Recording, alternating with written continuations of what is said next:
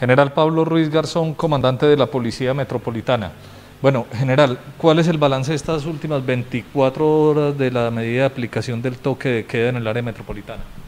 La Policía Metropolitana, con el fin de garantizar el cumplimiento a las medidas administrativas dispuestas por el gobierno departamental y municipal, en las últimas 24 horas atendimos cerca de 18.856 llamadas ingresadas al 123, de las cuales 1.473 tuvieron que ver por perturbación por alto volumen entre reuniones sociales, fiestas clandestinas, aglomeraciones, 790 de ellas eh, en la ciudad de Medellín. Atendimos 282 casos de riña y 123 casos por violencia intrafamiliar aplicamos cerca de 970 comparendos por no acatamiento a la orden de policía de violación del toque de queda y la medida administrativa de confinamiento, siendo las comunas de San Javier, Manrique, Castilla, Santa Cruz y Belén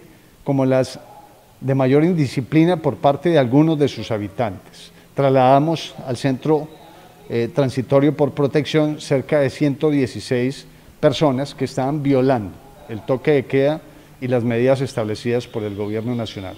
Hacemos un llamado nuevamente a toda la ciudadanía de Medellín y su área metropolitana a acatar las medidas administrativas, a respetar a la autoridad cuando sean requeridos con tal motivo, siendo el único fin garantizar la salud, la vida y la integridad de todos los habitantes del área metropolitana.